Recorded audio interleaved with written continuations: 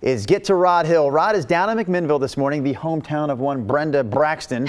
Uh, Brenda is celebrating your visit Yes. to McMinnville, Rod, by taking the day off. Yeah, and this is our Rod on the Road tour every Friday. Yeah, Rod in a different community. And thanks to Megan, Chelsea, and Brooke, by the way, already sent somebody, or Right. somebody meaning Rod, to Vancouver and St. Helens. so, Rod, what you up to down there?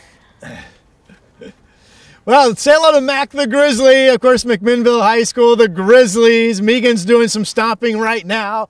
Uh, coming up in the six o'clock hour, we're actually going to have some of the high school students join us because this is a fundraiser for the high school class, and I'm going to get in there and stomp some grapes as well. It's the Grizzly Grape Stomp, as you can see by my T-shirt. CB Mason joining us. So I mentioned this is a fundraiser for the kids, their high school class. Yes. What's really cool is that you guys are going to try to break the World Guinness Book record tomorrow for the number of people stomping grapes at one time. That is correct. What's the record? Right now, the record is 977 and is held by a city in Spain. So there's no reason, Those Spaniards. yes, there's Yes. no reason wine country in Oregon should be holding this record.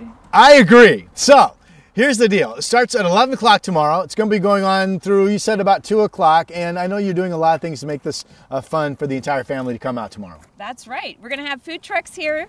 So you can come down, bring your big appetite, and sample some of the local food trucks.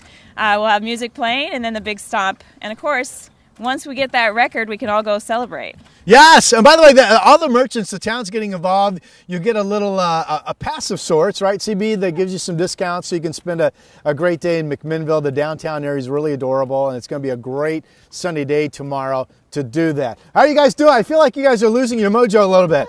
Okay, stomp hard, stomp hard. Come on, Mac the Grizzly.